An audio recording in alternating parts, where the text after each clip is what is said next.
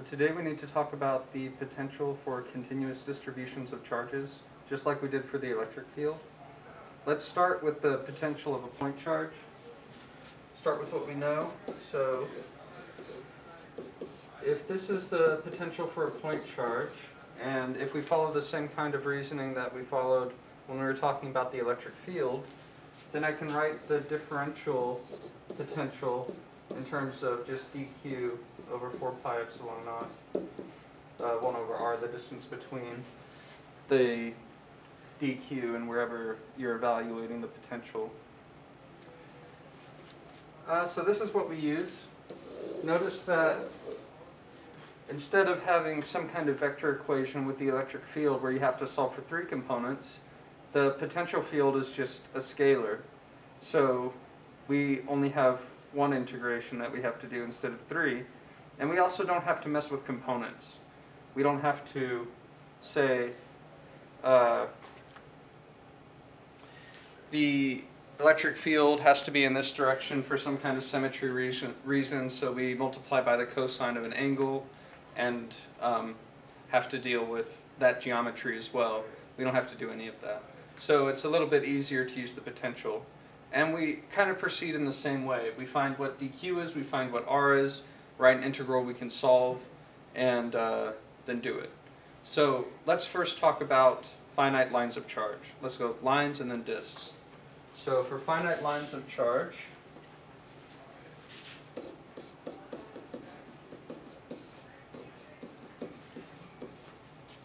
let's say I start at x equals minus L and go to x equals L. So here we have the y-axis, and we'll put my point a distance d above the line. So this line has charge density lambda. Then this little charge element will be a distance r away. So for our dq, just like what we did for the electric field, the dq will be lambda times dx. So we get our linear charge density and we multiply by a differential length. So dq is lambda times dx. And then we need to find what r is. Well, we're integrating over x, so I can write r in terms of x by using the Pythagorean theorem. And just use square root x squared plus d squared. Alright, so let's write our integral. v is going to be 1 over 4 pi epsilon naught integral dq over r. So in this case, we get our constant out front. And then we have integral. We're integrating over the x coordinate. And so I have to start here at x equals negative L and I move to here where x equals L. And then I get dq lambda dx over r, which is here, square root of x squared plus d squared. Alright, basically we're done with the physics, we just have to solve this integral. So I can rewrite constants out front, lambda over 4 pi epsilon naught and then what's the solution of this integral? You have dx over square root of x squared plus d squared. So this is pretty much um, dx over x, but we have this extra um, d squared bit. Really, look it up in your integral table, but it might be worth memorizing. Since it's pretty much 1 over x, we get a logarithm. So we get some kind of logarithm, and then if you look, you end up with logarithm of x plus square root of x squared plus d squared. And we go from negative L to L. So uh, this is just something I looked up, um, and it's useful to memorize because when we're finding the potential, we have to deal with 1 over r a lot, and you end up with the square root of some variable that you're integrating over plus the some maybe some other thing, like a straight line. Alright. Or I can write this as lambda over 4 pi epsilon naught, and then I get logarithm the upper limit divided by the lower limit. So the upper limit is L plus square root of L squared plus D squared. And divided by negative L plus square root of L squared plus D squared. Okay. So that's the solution for finite lines of charge. We didn't have to deal with any components or any kind of uh, finding the cosine of theta and some symmetry argument to find which electric field component we want at the point we're evaluating. And really, this equation, the second line from the bottom, is the general solution for points around finite lines of charge. Because I can just change what my limits are. For example, in your exercise, you're going to start with a line that starts at 0 and goes to L. All you have to do is make this lower limit 0. And then you have to uh, decide what D is. So you can change the limits and you can change D to put your point anywhere around this finite line that you want and then just evaluate uh, what you end up with to get your final solution. Okay. So something interesting happens when we take the length of the charge to infinity. Remember, we did electric fields for infinite lines of charge, and for some reason, I wanted to evaluate the potential only for finite lines of charge. Well, let's take L to infinity and see what happens. So we're interested in what happens to the potential as the length goes to infinity. Okay. If this is infinity plus infinity, some uh, little bit more than infinity, and then this is just a little bit more than infinity minus infinity, so we have a very small number here, a relatively small number here, and on top we have an infinite number, an infinite quantity. So logarithm of infinity is infinity. The logarithm uh, continues to increase as L increases without limit. Uh-oh. Our potential is infinite for an infinite line of charge. What happened? It exploded, right? So, we could see this a different way. Let me, instead of looking at this, start with an infinite line of charge. So if I have my infinite line of charge, lambda, and I know what the electric field is up here. The electric field is going to be lambda over 2 pi epsilon naught, 1 over y. Let's say my coordinates are set up this way, x and y, y hat. Then my potential is the negative integral of the electric field over a distance. I'll make my distance coming from infinity to some distance d above the line um, in this direction. So v is going to be negative lambda over 2 pi epsilon naught integral. We're starting at infinity and we're going to d of 1 over y dy. So we're integrating along y now to get the potential. The integral of this is a logarithm, like you would expect, so b is minus lambda over 2 pi epsilon naught. Hey, gentlemen, quick question. All right, just for the record, this, this is a quote-unquote Ziploc bag, right? Just, just, log of uh, d over infinity, and then if I make this a positive sign, I just change the order that this goes in. So the potential is lambda over 2 pi epsilon naught logarithm of infinity over d. So again, we have an infinite potential. Either way we do it. The bottom line is our boundary condition has been ruined. Because remember I said when we were talking about the potential that the potential, ener- uh, potential energy of a distribution of charges, or at least a localized distribution of charges, goes to zero as you get far away from it. But this is an infinite line. It's not localized around any point. There's still charge way out here at infinity, and so I can't get away from it. This boundary condition is ruined. And so I can't define uh, my potential at any arbitrary point around an infinite distribution of charge with reference to infinity. There's no zero point energy here because I can't get far away enough from the, the charge.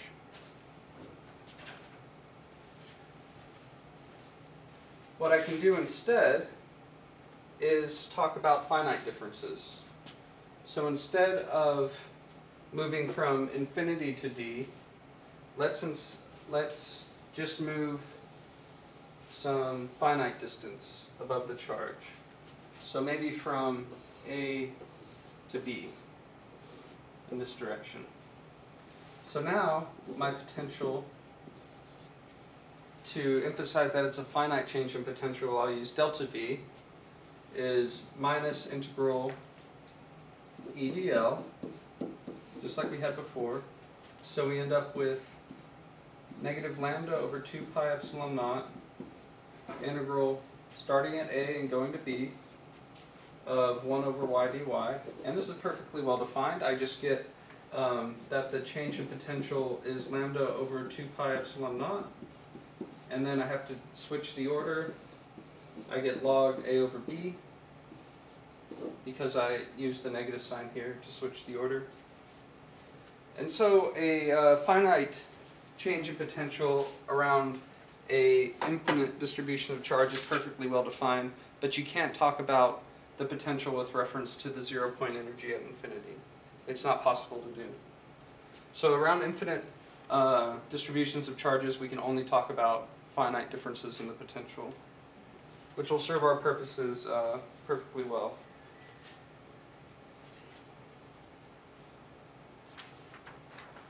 Alright, so see if you can solve the first problem on the exercise, and then we can start talking about disks of charge.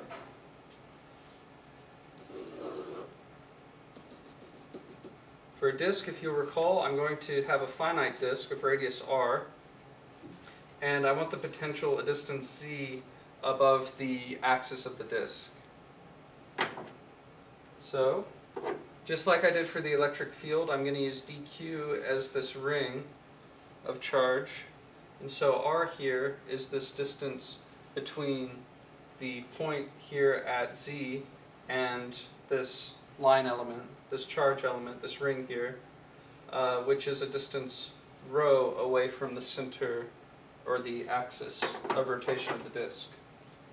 So let's write our integral.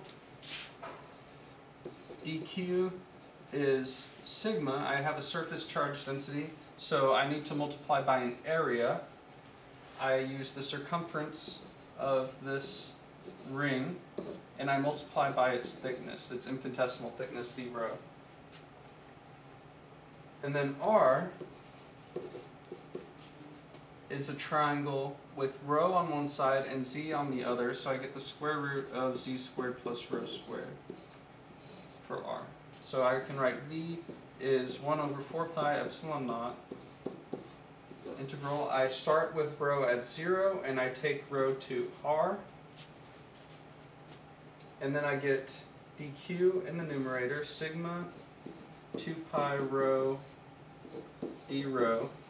And I get r in the denominator, square root of z squared plus rho squared. Let me simplify.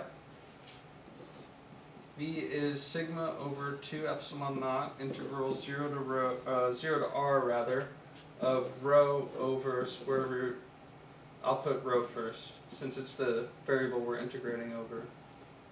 Rho squared plus z squared d rho. Alright, you should be able to do that just by inspection really. If you want, you can use a u substitution. Uh, notice if I make u rho squared plus z squared, then du is just 2 rho. And since I have a rho in the numerator, I can just use a direct u substitution and the two is canceled by the one half from the square root. So if I solve the integral, I get that the potential is sigma over two epsilon naught, and my square root of rho squared plus c squared, oops. I get square root rho squared plus c squared uh, from 0 to r, or sigma over 2 epsilon naught square root of r squared plus c squared minus c, which is the final answer for the potential along the axis of a finite disk of charge with surface charge density sigma and radius r.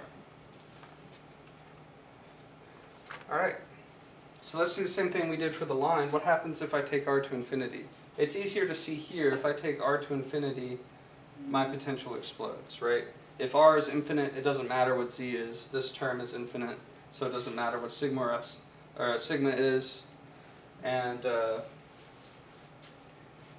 I have the same problem here with the potential exploding at um, for infinite distributions of charge.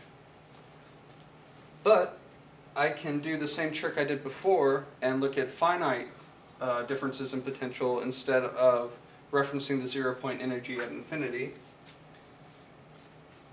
And so let's do that. I'll do one real nice. Uh, above an infinite sheet of charge with charge density sigma, we know that the electric field is constant. The electric field is just going to be sigma over 2 epsilon naught times, I don't know, let's make it y hat again. Okay. So, if I integrate over the distance, I get negative integral of sigma over 2 epsilon naught. There's no y coordinate to integrate over, I just have to do a dy. And so the potential goes like the coordinate y. And so if I increase y, my potential will increase or decrease uh, without bound. If I increase y to infinity at infinite distance away from the charge, I get an infinite potential. So now let's do a finite one.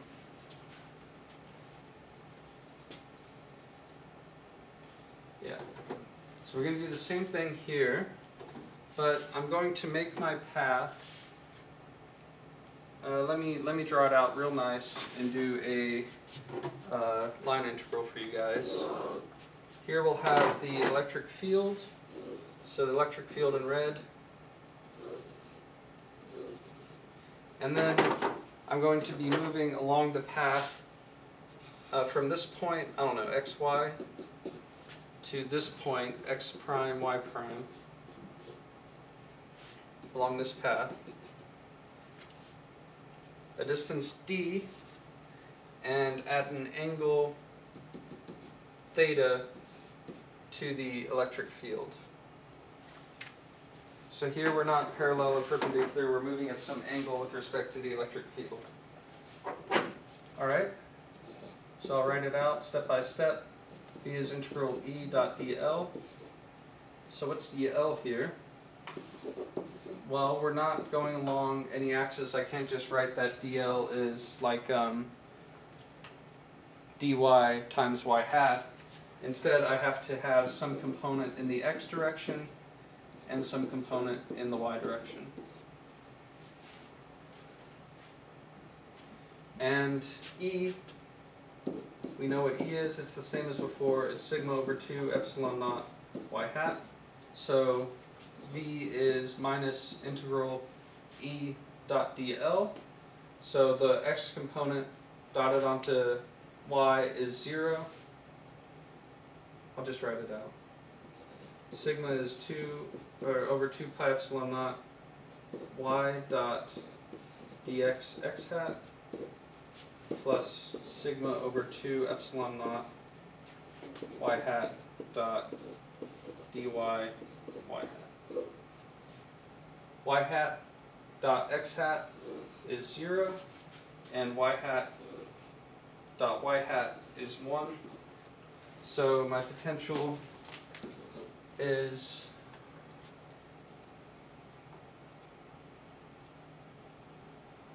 my change in potential is the integral integral over y. Well, I start at y and end at y prime.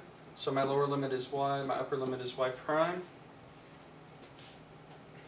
of sigma over 2 epsilon naught dy.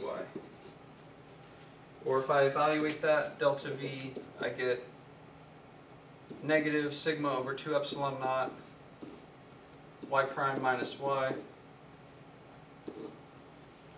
But if you look, if I subtract y prime from y, I get this distance here, which is d sine theta. So the change in potential is just negative sigma d over 2 epsilon naught sine theta. Which is the change in potential moving at an angle theta defined over there, uh, distance d through a constant electric field produced by an infinite sheet of charge. So ju just like we did for the electric field, I have to talk about lines, then disks, and now we can move on to dipoles. It's not a continuous distribution, but uh, we can just kind of tack it on to the end of this one. So if I have my dipole, let's put it at the origin. I got my positive charge and my negative charge along the y-axis, I suppose, and they are a distance away from each other. So this distance here is d, right? Just like we have for the dipole moment. If I'm evaluating the potential out here at a point, um, let's say this point is at some distance r away from the origin, there's a different distance, some small difference between the dis distance um, that you have to go for the positive charge and the distance from the point to the negative charge. So I have some uh, r plus and r minus, which are slightly different from one another. I can write the potential immediately using the principle of superposition as just the sum of the potential from the positive charge and the potential from the negative charge. So let's do that. I get q over 4 pi epsilon naught because they have the same sign or the same magnitude of charge, they're dipole.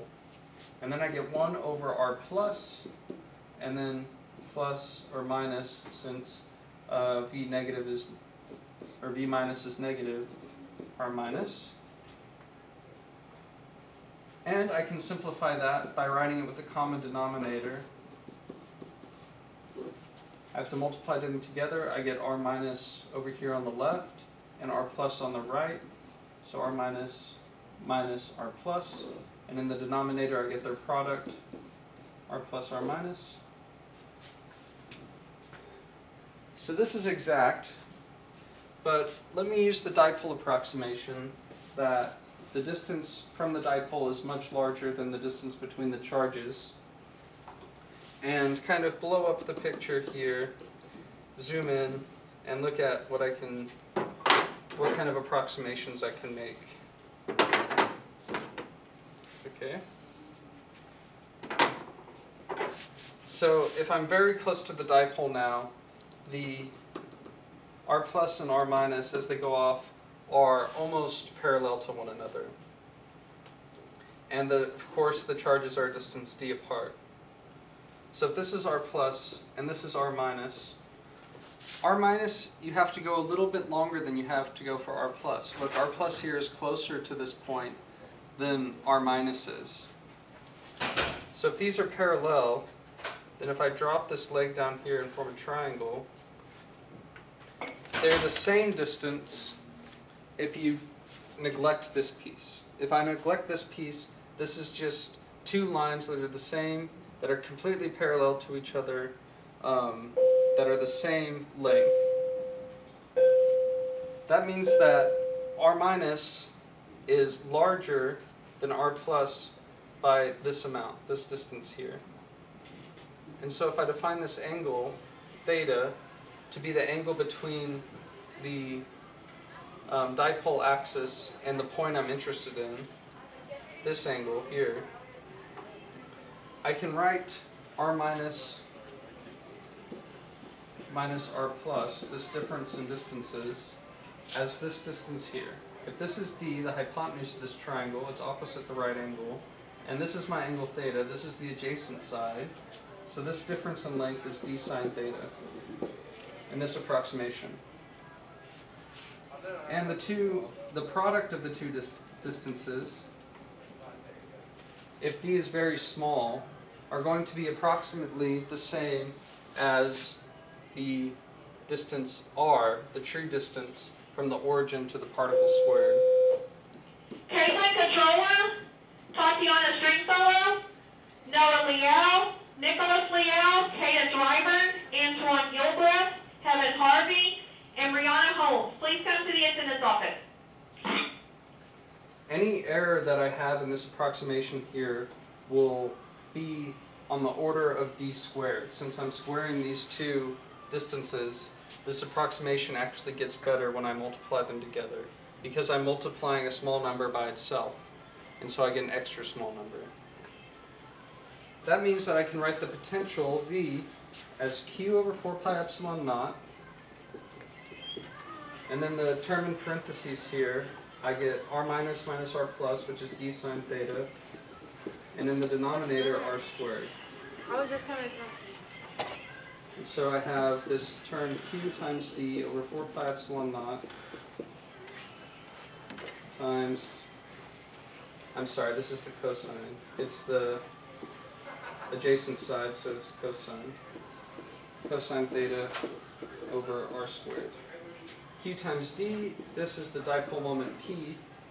And so my final answer, I get v is p cosine theta over 4 pi epsilon naught 1 over r squared. So that's the potential around a dipole. Notice that this solves the potential everywhere around the dipole. I don't have to just limit myself to um, the axis of the dipole like we did when we were calculating the electric field. And if I take the derivative here of the potential, I get the electric field back.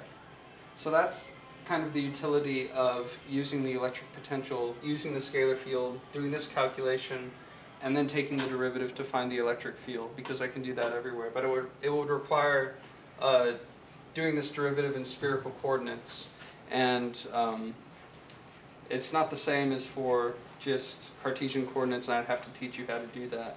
But in practice, that's what's done to find the electric field around the dipole.